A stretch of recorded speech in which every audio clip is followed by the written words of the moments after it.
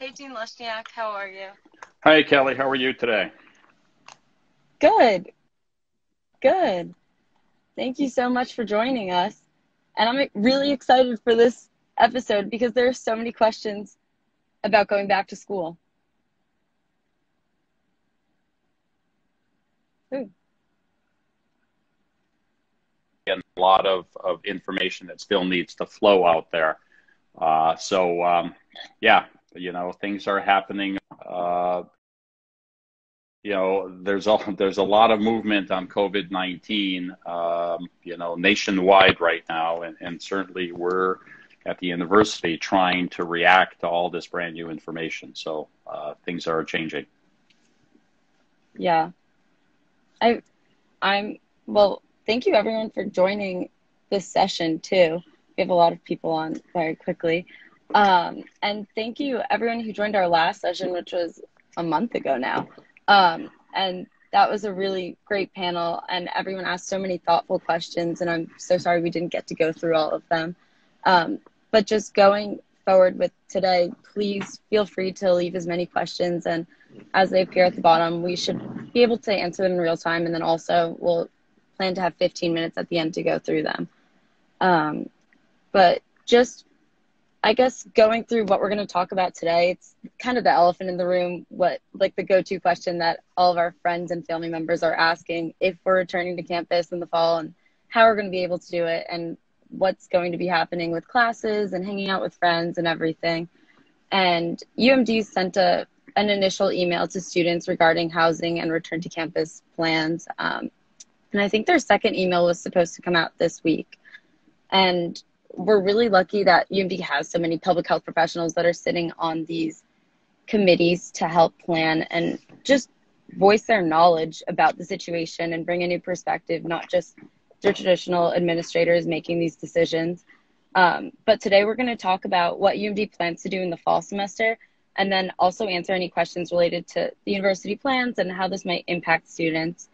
Um, so, Dean Lushniak, I know we usually start off by you giving a brief overview. I feel like so much has changed in the past month. So if you want to just give a few highlights about the current situation we're in, that would be much appreciated.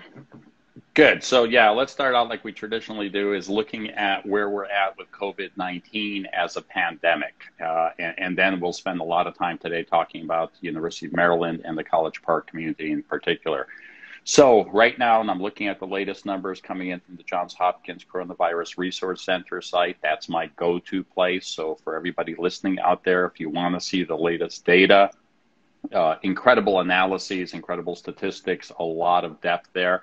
Uh, it's uh, become sort of the, the the cornerstone of information uh, based out of Johns Hopkins, uh, their University of Medicine, and specifically the Coronavirus Research Center. So Google that. Uh, right now, worldwide, we've uh, gotten up to 13.3 million people uh, who are test uh, total confirmed cases of COVID-19, the disease.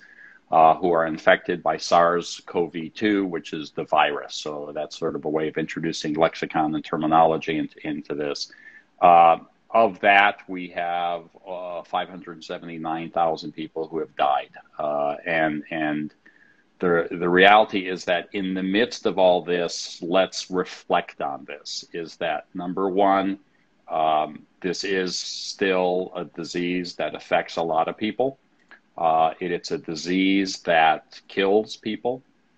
If we look at the crude mortality rate, and this is not the actual mortality rate because we right now don't know how many people are out there who have not been diagnosed as yet. But if you do the simple mathematics, it's four to five percent is where we've been at. So four to five percent individuals who have gotten COVID nineteen die from the disease. Uh, so that's you know an incredible tragedy that's taken place uh, worldwide.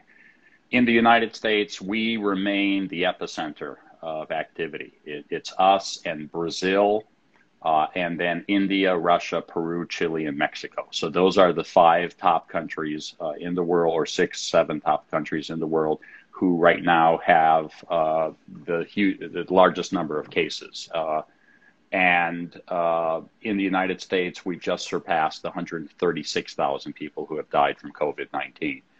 Uh, last time we had this show, I think we were perhaps a little bit more optimistic, and I still remain optimistic, but I'm also have to share the realist uh, aspect of this is that uh, we maybe were thinking, and this was one of the questions that we've had in the past, is if we get to summertime, are we going to see a lull in the action? And I'll emphasize with our audience out there today that coronavirus is brand new. This is a novel virus. We've never dealt with this virus before. What we've seen in past epidemics with influenza, there's been summer lulls in the past with influenza. And I guess a lot of us were hoping that we would see a bottoming out of the number of people with coronavirus as a result of heat and humidity and perhaps people getting outdoors. And in fact, in the United States, we've not seen that. What we've seen is a increase, and then we started decreasing, and that's exactly what happened to Europe two to four weeks ahead of us. An increase and then a decrease. The difference between us and the European Union was the European Union continued down and then started flattening out. And we continued down and then stopped and plateaued much higher above European Union. And the reason we do that comparison is that population wise, the European Union is about the size of the United States. And then what we've done is we started increasing again. And, and you know, that's not a good place to be at this stage of the pandemic. We know, and if you've been following the press, the hotspots right now are Florida, uh, are Texas, Arizona, and California. But lately, 15 to 20 states have been seeing increases. So this is not going to be one of those diseases that gets better in the summertime. Uh, and we're not at a good place right now in terms of trying to control this disease at the community setting. So I'm going to throw in the optimism. At the same t- day, so this past Sunday, uh, Florida broke for, for the first time the record of number of people who were diagnosed with corona, uh, uh, COVID 19 in a single day. And that was, I think, over 15,000 people diagnosed, uh, which isn't good. But on that same day was the first time in a long time that we actually saw zero, zero deaths in New York City from COVID 19. And we remember what a tragedy New York had been just a few short months ago.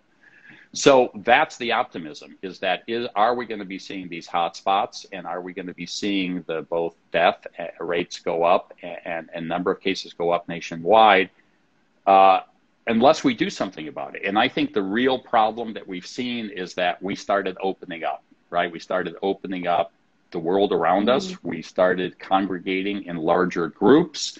Uh, and, and, you know, and, and that's been a problem. Now, when we talk about the middle Atlantic states, specifically Virginia and Maryland, this is where we start talking about local scenarios. Uh, and you look into the Northeast, that part of the country is actually doing pretty well. Uh, we're starting to see a few slight increases over the last few days, but compared to lots of other places in the United States, we're doing pretty well. And, you know, part of this could be and certainly around the Washington, D.C. area. Prince George's County, where College Park is located, Montgomery County, where I live, and you know a lot of suburban counties around in Virginia, all have been pretty disciplined, I'd say, in terms of their approaches to COVID 19. We here in Montgomery County are still in the phase two, right? We've not opened up everything as yet, uh, people are wearing masks indoors in many business establishments, and I think there is this respect towards the idea of the six foot rule and physical distancing. So that is the hope: is that somehow we take this a little bit more seriously than we have, and that many of the states, as you've seen, even you know Florida, who had been staunchly against the use of masks, and from a governor's perspective, Texas, they're all looking at this idea as maybe that's the answer: is that we're going to have to instill both the mask use uh, and then you look at California, they're backing up a little bit in terms of the indoor uh, opportunities for businesses to open up. Uh, so, uh, to our what, uh, individuals out there who are on, on this broadcast, again, this ain't over. No matter where you're living, it's not over. So, be aware of physical distancing, be aware of using masks. Uh, be aware of hand washing. Those are the staunch components of, of uh, public health. Uh, and then the issue of large gatherings, right? stay away from large gatherings. Next sort of thing that I wanted to update people on because this is intimately related with some of the research going on uh, in the School of Public Health, and that's the idea that um, we may be dealing with a new uh, phenomenon associated with COVID 19. Uh, until now, our feeling was that transmission had been through larger droplets, therefore, the six foot rule. Uh, so that if I was breathing or talking, that the virus really was forming in these or instilled in these larger droplets and would fall to the ground within the six feet. Uh, one of our professors, researchers, guy named Don Milton at the School of Public Health, has been doing research for years now. Influenza virus is one of the leaders on, on looking at COVID 19. Uh, and in this past couple of weeks, over 200 researchers, including Don Milton, signed a letter to WHO, World Health Organization, to acknowledge, to have WHO acknowledge that this may be more than just the bigger droplets. and maybe aerosol. And that brings up a new public health term talking about airborne spread, right?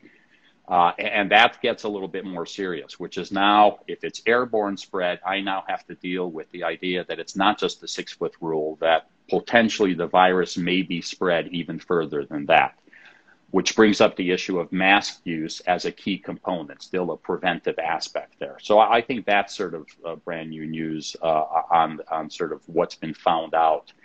The other aspect that's been found out and sort of publicized in the last uh, 24 to 48 hours, small studies, but our hope had been that maybe individuals who have had the disease will mount a, an immune response and maybe that will protect them. Small study that's uh, coming out of England. Um, looks like that people did mount immune response in the weeks following infection with COVID-19, but then two to three months out, many of them have lost that immune response. Uh, uh, so that's not necessarily great news. Now, could there be other immune responses that happen and protect us? Uh, potentially, because we're only measuring certain immunoglobulins, immunoresponses. But the reason I bring that up is that I have to let everybody know this is still a novel coronavirus. It is brand new. And, you know, uh, the fact is that every day there's new information coming out about it. The researchers are doing incredible work, including researchers at the School of Public Health. Uh, and we're still working toward this pathway of, of trying to figure out this virus research continues on the vaccine front, right? Uh, right now, there's probably four really good vaccine candidates uh, that the U.S. government is supporting, supporting many more that are internationally supported. Uh, and the hope is that it's not just going to be one vaccine that's going to work. The hope is that there's going to be multiple vaccines that tend to work. We really won't know more until the fall from some of these called it's called phase three studies for vaccines where it's given to now thousands of people and you kind of look at immune response that happens from the vaccine as well as looking for adverse events for uh, things that you know uh, may be problematic with the vaccine. So progress is continuing on that front. Progress is also continuing on the front of treatments. Um, you know the doctors have gotten much better at treating especially the critical critically ill individuals with COVID 19 so that the mortality rate has decreased overall. The number of fatalities uh, have decreased overall. Part of that is looking at brand new medic- medicines that are now being used, especially in critically ill people. That includes remdesivir, which is an antiviral. That includes dexamethasone, which is a steroid, has been found to be helpful. That includes new practices where before doctors would put people who were having severe respiratory issues you know, on, on a ventilator. That may not be the right approach. Maybe use of 100% oxygen and being uh, aggressive there may save lives. And even something as simple as positioning of a patient. You know, as a physician, you sometimes think it's all about the drugs. Well, sometimes it's about the practices. And what's been found that, especially for critically, critically ill individuals, as opposed to p- keeping people on their back, putting them on their belly while they're in the ICU allows their lungs to actually work a little bit more efficiently. So those are sort of areas that, you know, oftentimes our, our listeners will say, wow, it boils down to that. Sometimes it boils down to that in order to save lives. Uh, again, I remain optimistic, right? I gave you a lot of pessimistic information about the COVID 19 situation. My optimism is we're still learning, and each and every time we learn, we react. Uh, and, and, that's an important part of what's going on. So that's kind of the update right now, Kelly. Yeah, thank you so much for giving us that broad overview, especially touching on all of those different topics. I had no clue about the hospitals and laying on your stomach versus laying on your back, and that's so interesting just to figure out that researchers are finding that out right now. And everything isn't always about the drugs or whatever cutting edge technology. Mm-hmm. It's just simple changes in practice that's already working. Um, yeah. But just going into different things and how it relates to UMD, I know there's a lot of people on here, and I just want to make sure that everybody knows like, please feel free to comment any questions or anything that you might have for Dean Lushniak about UMD or coronavirus or anything so we can answer them in time too. Um, but we do. I also want to welcome Kelly right now. I just want to welcome too. Yeah. I know we, I think, sent invites to some of our new incoming students, graduate students, maybe some undergrads as well. So we may have new Terps uh, on the line as well. So welcome to those graduate students or undergrads who may be on here. That's so exciting. Oh, congrats, Terps. Um, but just going into it, so I guess everyone's gotten this email. Um, if you're a student or going to be a student at the University of Maryland, about um, just what we're planning to do in the fall. And the email included something about adequate testing. So honestly, I was just curious, what does that exactly mean? And then also, have there been any like models for testing that we've seen to like handle a mass influx of people to one area? Yeah, so the testing situation that continues to unfold. Uh, we're still sort of designing what it's going to look like for people returning in the fall. What are going to be sort of the recommendations and, and are, is there going to be a mandatory component to that for people to be pre-tested prior to returning? That's all still being worked. What's happened to date, we've actually had what now amounts to three different rounds of testing on campus. So those of you who have not been around haven't seen this. I actually participated in the first and third round, not only as an observer, but also had a swab inserted into my nose and uh, sort of felt what it would feel like. So uh, first round was uh, early in June. Uh, and I think at that point we had a little over 250 people tested. And, and, that included, this was open to faculty, to staff, and some of the returning students, particularly the student athletes, some of whom were returning to sort of begin some of their uh, conditioning exercises, right, and conditioning programs for student a- athletics. Uh, that first round in June, uh, and to remind you what the test consists of, and this was all done at the stadium, at the football stadium, um, well organized in an outdoor environment, cordoned off areas. You were pre registered prior, so they knew you were coming.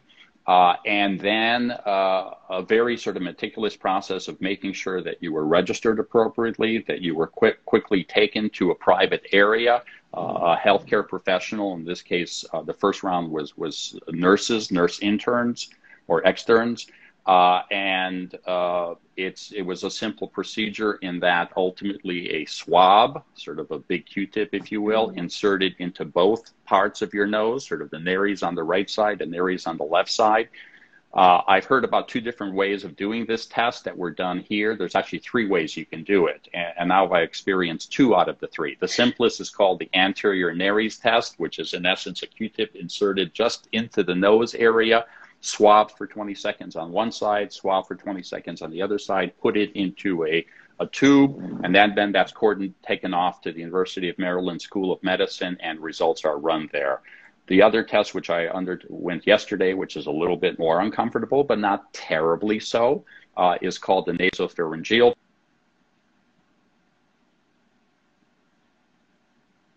enters the throat. Sounds kind of gross. Uh, was uh, more uncomfortable, I'll be honest, but that's done on both sides as well. And then that same thing is taking place. There's an intermediate one that I don't think we've been doing. It's called the mid-turbinate, which is now inserted halfway through the nose, sort of into this area.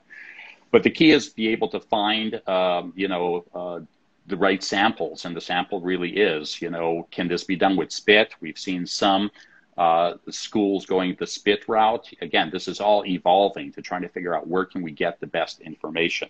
So now we've had several rounds. First round, 250 people. There were no positives. Um, second round was done with athletics uh, last week, and, and there was a press release that came out on this. And, and what happened there was, I think, 190 or people or so. Don't quote me on the numbers. I thought I had the press release here. Let's see if I have it but uh, we had nine positives. Uh, so nine people in athletics, uh, student athletes as well as staff that were tested positive at that point. So those were our first round of, of positives in in our uh, report um, or, in our our testing program. Uh, and, and, now this week, uh, yesterday, and I think today. was another round of testings again for faculty and staff who are working on campus. Uh, I'm not sure what the numbers were. I was told yesterday morning was really busy. I was there yesterday afternoon. It was less busy. I think we had the capabilities, you know, talking about it has how many people can we do at once. Uh, the advertised capabilities for these two days was that we can handle up to 2,000 people, right, to be tested uh, right there at the football stadium, quickly in and out, and that Ultimately, we were told that results would be available in a few days uh, and that we would then be informed as to whether we're positive or negative. The key feature here, and this is important, no matter whatever testing regimen we have, is what do you do about that testing, right? It's one thing to be tested. It's another aspect, and nationwide we're having problems with this, is the turnaround between having the test and having the result uh, I heard in one case that was advertised on the press 27 days it took for a person to get their results. Well, you know, for this disease, that's un, you know, unbelievable. That's really bad. But even if you get up to six to eight days, what are you going to do for those six and eight days as you're waiting around? Am I positive? Am I negative? What should I be doing? Here, I think for the most part, I think I got my test result on the first round within two to three days. That's at least more reasonable we would love to have, and, and there are, are, some developments in, in, sort of the world of research again, to have the rapid test. You get it right there. We're still not there. And the hope is as these testing regimens evolve, that we'll implement what's going to be hopefully the easiest and the quickest turnaround at the University of Maryland. But at least we've had these experiences these last few weeks of how do you uh, implement a testing regimen, right, for large mm-hmm. numbers of people. So it's it's a movement that's undergoing and again each and every time the team that's out there doing this learns from this and we get better at it. Yeah i didn't know that we had those different waves of testing. That's really cool that the university like sponsored that. Um, one question that was just submitted is from joanne and she said it might be a little bit early to say but with the way things are going does it look like the spring semester will be online Oh boy, it's so hard to predict. You know, what's really bizarre about this is that, you know, even the modelers, right? What we try to do, you know, the modelers and, and a great group to look at is the University of Washington has a great modeling team. Uh, if you look at their website, um, you know, modeling is only as good as the data that goes in to try to produce that model. Um, I'll bring up something again. You know, maybe I'm being a little too negative in the midst of all this, but I'm, I'm quoting, you know, sort of what the Dr. Redfield, who's the head of CDC uh, from the University of Maryland uh, School of Medicine, who's now serving in that role, uh, said yesterday. And he said yes something that was repeated uh, or initially said a few weeks ago which is we're bracing ourselves for a bad fall and winter. And part of this is that we know every year influenza returns. That's a seasonal pattern. And the feeling is that this COVID 19 won't be gone by the fall and winter. So if we hit a double whammy, that may be bad. It's difficult to predict what's going to be happening in, in, in the spring. And to a large extent, it almost is difficult to predict, in fact, what's going to happen in the fall, right? So right now we have plans at the university, and the plans are, and you know, you already know this, especially the students out there, and our income students have to realize this as well, right? And this is not novel. This isn't brand new information. Brace yourself. It's not a normal school year come August 31st. It is not, right? Uh, we just can't do a normal school year under this circumstance. Um, you know, when we look at what we're trying to do at, at Maryland, and, and, you know, there's a framework called For Maryland, and the number for Maryland. That's sort of the, the sort of the big push about how we're trying to prepare for COVID-19. And I'm going to give you that framework because this is important of how it plays a role in terms of the school year ahead. Number one of that foursome is prioritize the health and safety of every member of our campus community. So health and safety is critical. Decisions need to be made we're trying to get some students back on campus, yes, into residence halls. We're trying to get some students back into the classroom with very strict stipulations. Uh, and, and that's a key feature, though, is the health and safety. Uh, we also try to, you know, to do number two on this list, protect and support the educational and research missions to maintain academic excellence. Three, to make decisions that are grounded in our values of equity and inclusion. And four, to provide timely and transparent communications and obtain input, right, from internal, external stakeholders about the proposed reopening plans. Uh, and one can argue, you know, anytime in the midst of crisis, the idea of, you know, of, of, of communication, transparent communication. Uh, I know we're getting a lot of complaints that you're not getting enough information at the right time and things are vague. Um, you know, I'm not here to make up excuses for that. The reality is that this is a changing landscape. And if we're putting health and safety first, it's very difficult in the midst of all the things I just told you to commit to exactly what's going to be taking place in the fall.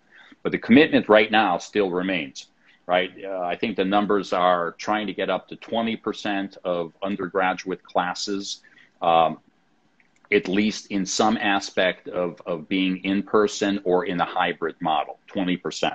We're talking about residence halls, perhaps occupancy up to 75%, perhaps 80%. But the idea is don't forget, as we're designing all these things, I have to think about physical distancing. How do I keep people away from each other in the classrooms and in the residence halls? And how do I deal with the use of masks? Is that, you know, how is that going to be done in all those settings? So, you know, uh, there's a lot of movement right now. Mm-hmm. And I think one of my friends actually told me this this morning that we could check on Testudo to see which of our classes are online or face to face. And I think four out of five of my classes are online, and then one will be face to face in the fall, which is just like interesting for all students to just check Testudo to see what you're registered for. Um, yeah, I know that information that. was supposed to be coming out, and it's interesting. You fall right in that realm of statistics, right? Because pretty much twenty percent of your classes are. Yeah, but you exactly. know, and, and and you know it, it's just this is really a difficult decision process right? And i know that the online experience is different than the in-person experience. But you know as a health and safety guy i can't just say okay let's pretend all this isn't happening right? I just i can't say that. I can't say oh we're just going to gamble on this. Like let's open up everything and we'll see what happens. Uh, this is dangerous to be sort of you know that uh, that aggressive. Mm-hmm. And then for the twenty percent of classes that will be in person, will the university be providing like masks and hand sanitizer and things to clean off desks, like for all that are on campus? So yeah, so several things are being done. First of all, let's talk about the classrooms themselves. So we have a whole team that's been looking at the ventilation of, of classrooms. Uh, and, and, the whole issue here is really one of, to large extent, fresh air is good for you, right? So, you know, outdoors is better than indoors. Obviously, a lot of our classes are indoors, although we've been asking people to think about the whole idea of the outdoor setting as well for classes. So uh, the you know um, the reality is that you know classroom buildings have been evaluated and looking at the idea that they meet sort of the, the standards that are out there uh, set by a group called the American Society of Heating, Refrigerating, and Air Conditioning Engineers. ASHRAE is the group. Uh, so the idea of the classrooms, you know, any classroom that looks like it's not going to be good, um, and and in reality, uh, you know, that classroom should be taken offline, right? And that's what mm-hmm. our engineers, our, our group of people who are doing sort of the the heating and ventilation systems are looking at right now. Idea of classrooms is that you know cleaning will be taking place disinfecting will be taking place on a more regular basis to be determined how all that is happening but there's going to be this idea of hygiene in the classroom. That's going to be uh, uh, you know, and, and, classrooms will be equipped with disinfectant wipes for students to clean your own surfaces, such as seats, desks, and tables between each class if necessary. So you want to do sort of to make sure. It's going to be a lot like what people are doing on airplanes right now, right? A lot of people are going on airplanes wearing a mask, and then they bring their disinfectant wipes and they wipe everything down. Uh, we'll have those wipes available in the classroom so that you can feel assured that you actually did your cleaning, right? Because it's almost impossible to make sure that everything is cleaned the minute after the last student left. So there's some aspect of personal responsibility. I think we're looking at this idea, and I'm not sure if it's been fully developed, of issuing masks to faculty and staff and students, some of the cloth masks that are out there, so that everybody has a mask, uh, or it's a bring your own scenario as well. But mask use is going to be highly, you know, enforced and recommended on, on the campus environment. Yeah, I went to the School of Public Health yesterday, right? And um, it's interesting how we're already set up there. So what are you going to notice difference about the school? As soon as you enter through the front uh, doors is a big, you know, information signs, information postings about COVID-19. So the idea is that health information is being given to you. Is everybody going to sit there and read it? I don't know, but it's important for at least the first time, read up on what we're trying to do. There's also a big disinfectant, you know, uh, hand sanitizing machine right at the entranceway entrances are marked and there's there's arrows on, the ground saying here's how you enter the School of Public Health building and here's how you exit. The idea of having two separate pathways is important. As soon as you enter, there's markings on the pathway as you're going in to remind you of the six foot distance for one person to another. So is it going to be kind of weird? It's going to be kind of weird. It's not going to be sort of the mass of students coming in, but I'm asking you you have to be part of the plan here, right, to be able to do that. So, you know, when you look at that, and, and we even moved our furniture, let's say in, on the main floor where a lot of students congregate, mm-hmm. to make sure that these areas are separated by at least six feet, right, in that realm. So, uh, you know, that's but an example of how we're looking at changing our own, you know, and there's many other examples, but how we're changing the classroom environment. Uh, people will be spaced in classrooms, which is why we're really limiting uh, sort of the the in-person options to relatively small class sizes, 50 or less. Um, you know, uh, the bigger classes obviously won't be taking place in person because you can't possibly do that six foot distance and you know uh, easily. So uh, there's a lot of kind of preparation going on of how we follow the public health recommendations in light of having some people coming back. Yeah, thank you. And just going off of that, um, we had a question related to this. Um, and the question was why are labs and classes with less than 30 people online when it was stated classes less than 50 would be in person? Uh, so again, there's there's several things. What we needed to prioritize here is, and this is sort of the first aspect of this, uh, of sort of planning for which classes are, is which classes absolutely need to be in person, right? Uh, we realized that everybody would love, I think everybody would love to have all their classes in person. You have the, you know, the interaction with other students, you have that interaction with your faculty member, you have the exchange of, of knowledgeable information face to face. As I mentioned, the standard, this is not going to be a standard school year, so that's not going to happen. One of the things we had to realize is that there are certain classes that possi- can't possibly take place online. And some of them are the lab courses, right, where you need to have mm-hmm. equipment, where you need to, to sort of go through a laboratory procedures. In other schools, the music classes, right, some of them where you're performing with others around you. So we had to look first at, at, sort of the idea of which classes are applicable to being and can only take place in person. Um, so that was sort of one of the first rounds. Larger classes over the size of 50 all went, you know, online right off the bat, or perhaps had, you know, sort of groups uh, sessions that were potentially in person introduced into there. There's going to be certain modifications potentially in terms of a hybrid for some of these. But it really goes down to idea. First, you have to do the, the, the in person ones, which are you know, will I still be able to teach something online versus I can't do it online? And that was the first round. Mm-hmm. So, uh, to a large extent, it was that. To a large extent, we also had to look at, you know, we need to, and you'll hear this term a lot, is it, it's about density on campus, right? So, it's the whole idea we're trying to, to make decrease the density in the residence halls, we're trying to decrease the density of students in the classroom and we're trying to decrease the, the density of faculty and staff that need to be on campus because this goes all the way through, right? You look at from a student's perspective, and I look at that from that perspective as well as a dean. but I also have staff and I also have researchers and I also have faculty and they have offices. And I can't possibly have all my faculty and staff in the building at the same time because I'm following the same rules.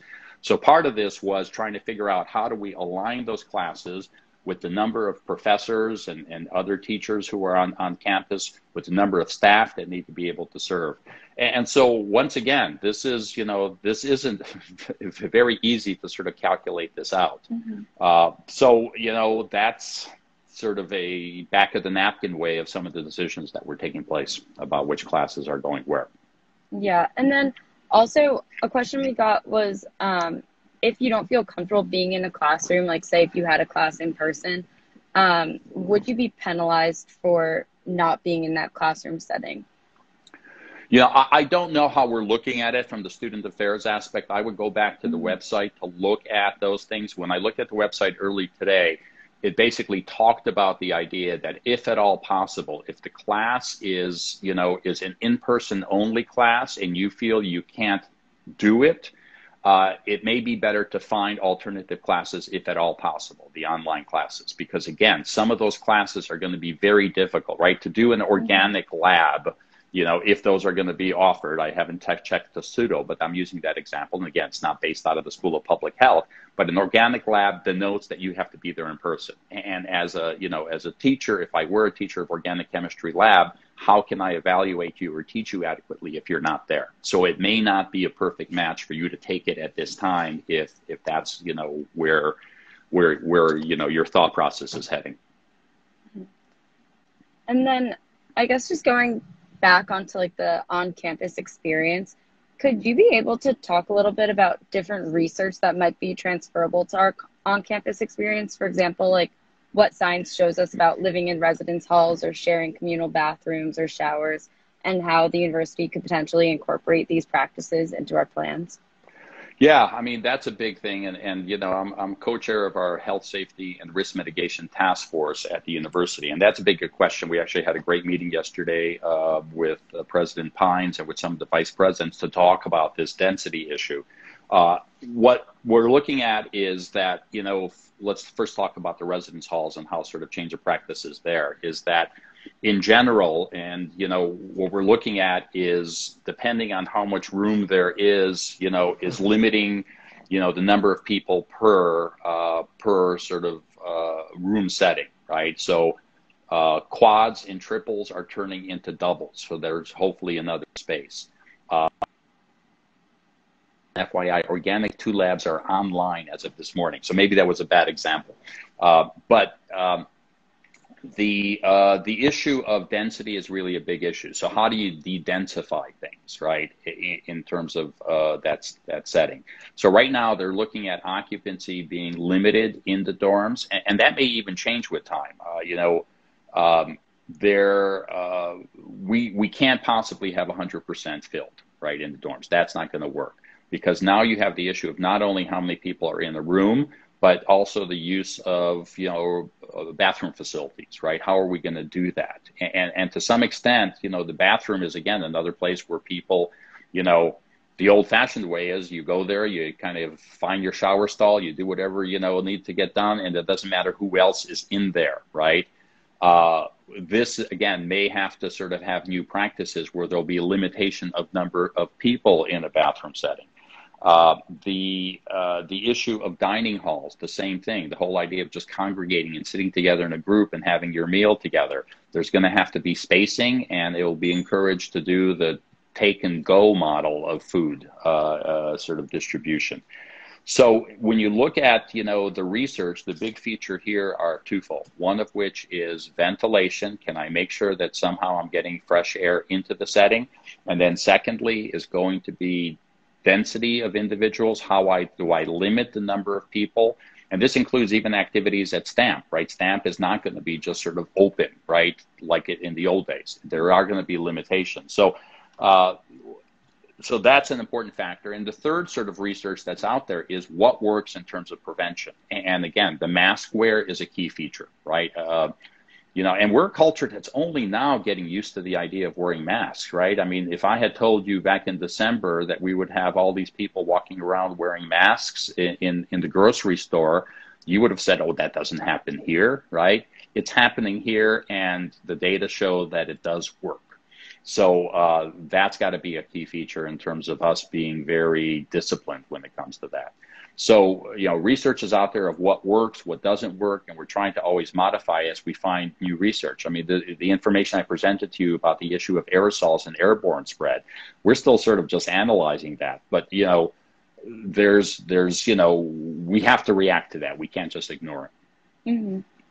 And then going off of different buildings on campus and like just STAMP in general, uh, someone asked a question if buildings would be open to students who don't have face-to-face classes there and just want to study.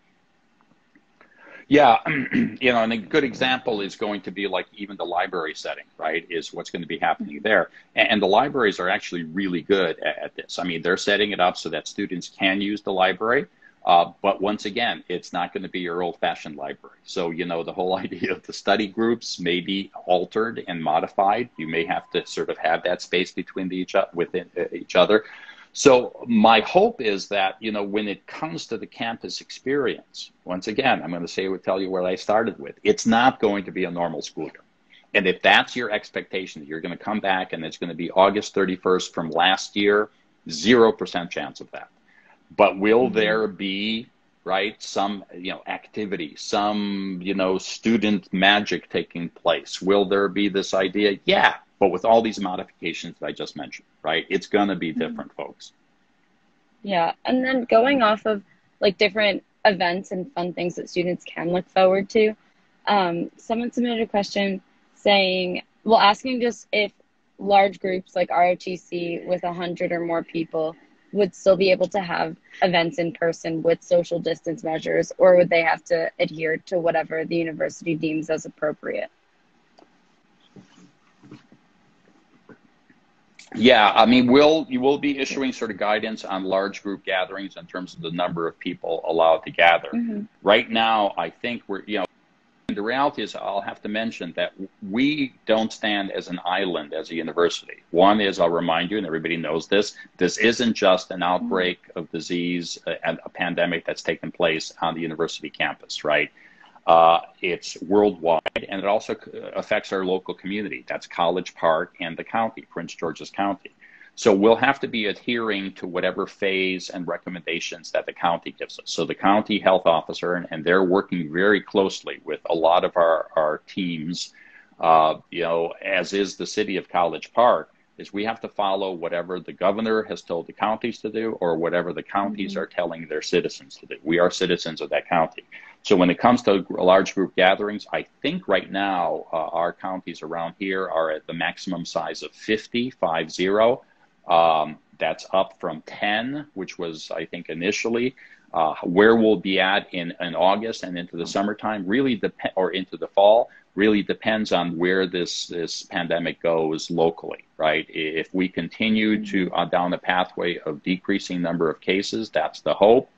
Uh, then we'll be able to open up larger activities uh, judiciously. Uh, but again, go in expecting that you know these large group activities won't be taking place.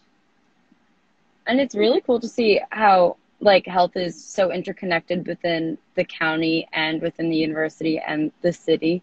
Um, and another thing that people do think about is contact tracing because it is such a big component to prevent transmission of the virus. Um, so, what role does UMD envision for contact tracing, or like have has there been any talk with different local health departments nearby. Right. So the key feature is going to be sort of our relationship with Prince George's County. So several good things on, on this front is Prince George's County has a, a contact tracing system in place. Uh, they've been at it now for several months, and, and, we, as part of that community, will fall into their contact tracing scheme. Uh, we're also looking at a model that I don't have full information on right now, uh, but that there will be, and we can't necessarily use the term contact tracing we don't want to confuse it with what's going on at the jurisdictional level, which is the public health authorities at the county or at the state. Uh, but there's uh, going to be uh, an arrangement with the University Health Center and the School of Public Health to make sure that we get in early with any people who test positive, right, on our campus. So that the problem with contact tracing nationwide uh, is that, as I mentioned earlier, the gap between having a test and having a positive is one gap, and we're trying to keep that as short as possible. The other gap is between being a positive, knowing about it, right? Hopefully that happens, you know, rather quickly where somebody is able to tell you, here's what I should be doing. The next gap is the gap one a lot of work and saying, okay, you tested positive. Who have you been in contact with, right, in the last 14 days so that we can inform them that they are at higher risk? What we're trying to do by having this system built into uh, this arrangement between the University Health Center and the School of Public Health is that um, that that will start earlier. So the minute that the university finds out about a positive, we still have to give the information to the county because we're part of that jurisdiction. And sometime in the next few days, hopefully a shorter time period, the county will contact you. But we'll already provide, get some initial information, finding out who have you been in contact with on campus and what can we do about it. And the key here from a public health aspect is every single contact needs to be co- connected with and somebody needs to speak with them saying, hey, listen, by the way, you've been in contact with somebody who is now a positive, and our recommendations are, right? You need to probably mm-hmm. get tested right now. And secondly, watch out for your symptoms right now. And thirdly, think about, you know, quarantining yourself away from others because you may be at higher risk until we get your results back. So, you know, there there is a system that we're trying to build in here. Let me also tell you about other things that are going on on campus even now. So every day I get an email, right? And the email asks me, uh, Boris, are you coming to campus today? And I answer yes or no. If it's yes, I'm being asked right off the bat, do I have any of the following symptoms, all consistent with the diagnosis of COVID 19? If I answer no to everything, then the answer is, okay, you can come on campus. Now, it sounds to, to everybody like, oh, this is a silly system because we know there's a lot of asymptomatics. Well, again, it's part of the puzzle, right? So the reality is that, you know, in general, most students are going to be prompted on a daily basis. You know, we're testing the system out right now saying, how do you feel today? And if you don't, if you answer yes to any of the questions, you'll be given information of who to call at the University Health Center. And you may get tested at that point based upon those symptoms. Right? So there's there's multiple sort of facets to this. None of them individually are perfect, nor is the combination of all these preventive measures perfect. But the combination works better than the individual aspects and works better than nothing at this point. That's so true. And then would do you think that this could be an opportunity for public health students or some other students to collaborate with um, in regards to tracing or just helping out? Like, I feel like this is such a cool current event happening right now. And if we could twist this for like an educational moment, this would be really interesting. Right, and we started that uh, at the end of the, the, the, academic year last year, and then continued for some students into the summertime. Which, which as volunteers, they were assigned to the Department of Health at the uh, Prince George's County level. And so, you know, uh, again, the county can't handle mm-hmm. a huge number of students.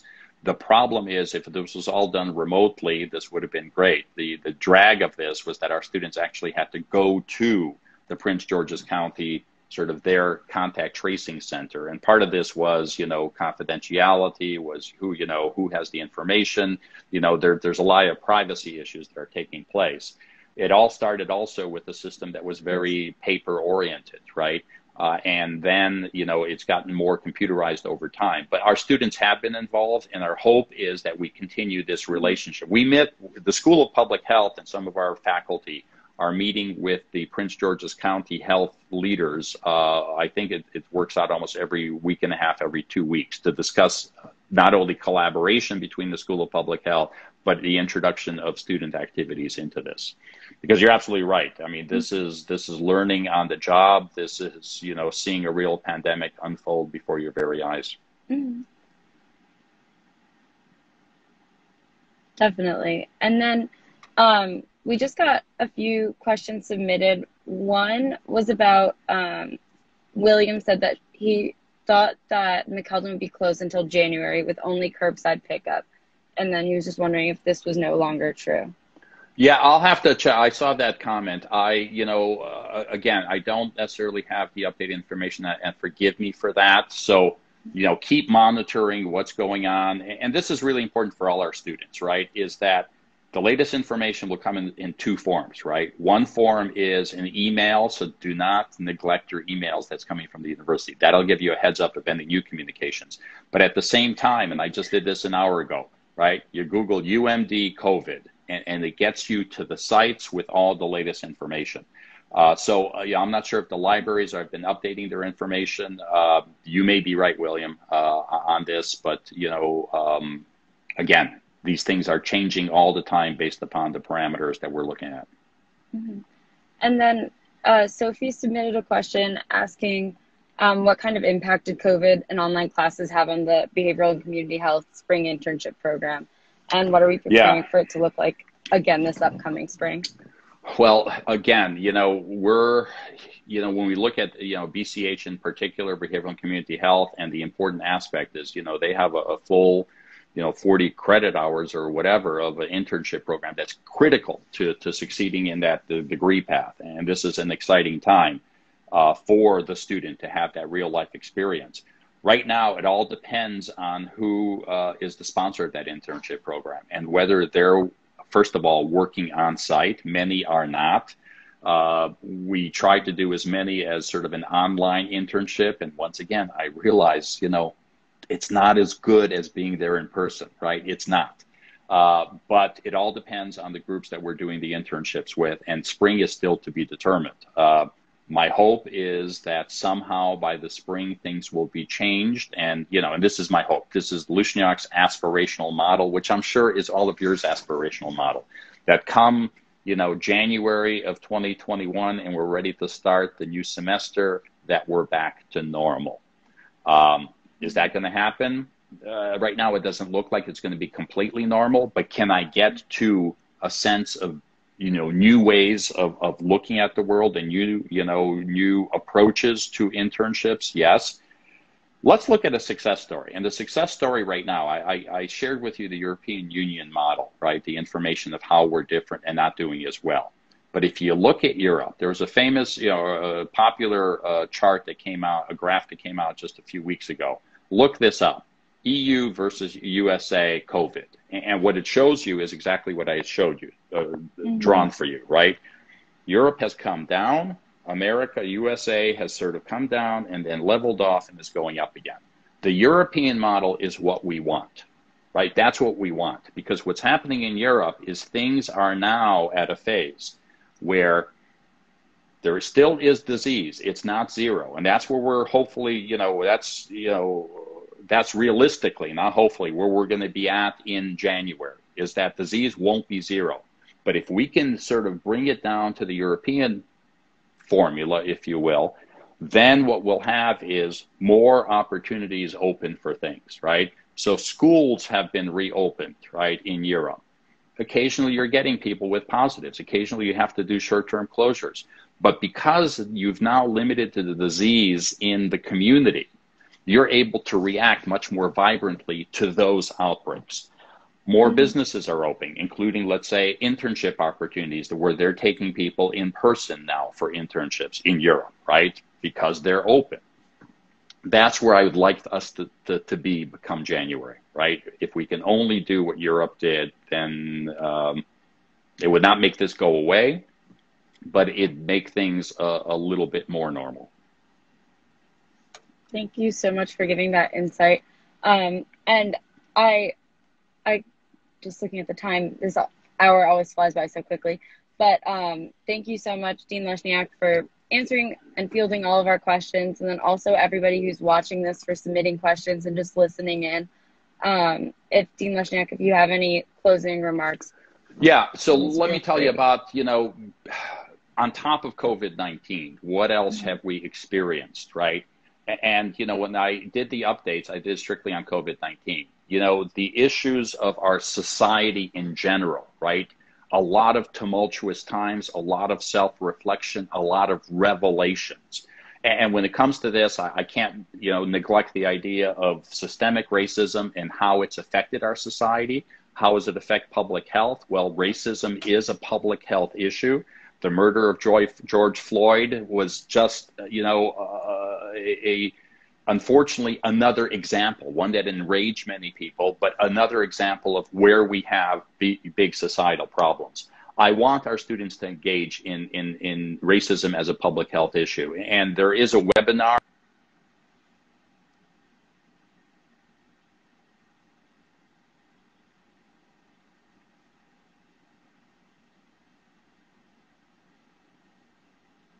diversity and inclusion Office of Diversity Inclusion, ODI, at the university. There's a webinar that we, the School of Public Health, are co sponsoring. That's tomorrow at 2 o'clock. Get the information and get engaged in this other major public health issue, right? So let's not neglect that. And again, 2 o'clock tomorrow, get the information either at the University of Maryland School of Public Health uh, uh, Facebook site or um, uh, the UMD site for diversity and inclusion. And, and so get engaged in that and and that's just as important a battle that we're waging and we got to get better at that. So thank, thank you, you, kelly. so thanks for, for being a great host again. Um, yeah of course. No of course. And i just put the link um, for the teach-in in the chat so if anybody wants to just use that or save that definitely feel free and i hope you all have a great rest of your wednesday. Great. See ya. Thanks kelly